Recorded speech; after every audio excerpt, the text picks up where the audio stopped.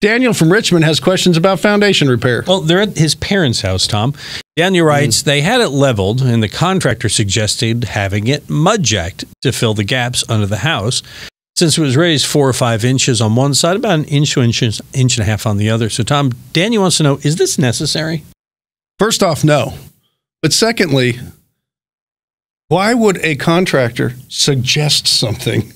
If this is a foundation repair company, right. You know- and you're a oh, doctors, I suggest while I'm in doing your heart transplant that we put in a kidney too. What do you think? I'm thinking it's two for one. Let's go for it. Do that.